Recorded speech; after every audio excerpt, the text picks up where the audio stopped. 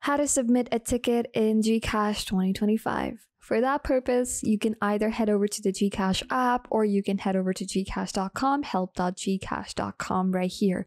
You can either search it for articles, but that's not our concern over here, right? You want to submit a ticket only because you cannot find that specific solution to your problem. So we're going to navigate Gigi, which is their very helpful AI assisted bot. You can chat with it and start off with a ticket. You're going to click on chat with Gigi. Onto the computer or web, you can find it onto the bottom right hand side corner of the screen, and that is the exact same place you're going to find it onto your mobile interface as well.